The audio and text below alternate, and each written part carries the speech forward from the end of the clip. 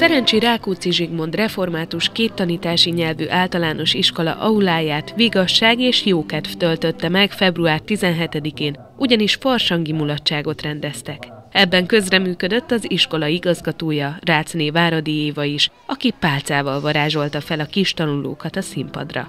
Ez az időszak arról szól, hogy vége a télnek és minden új életre fog kelni.